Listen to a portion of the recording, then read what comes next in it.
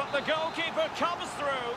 Yes, Derek, we have to give credit to the keeper, but surely he should have... And there is the goal that gives them a well-merited lead. It had been coming. It'll be interesting to see whether or not Chelsea can articulate an appropriate reply. Kovacic! Goodness gracious me! How about that for technique? You can't strike them much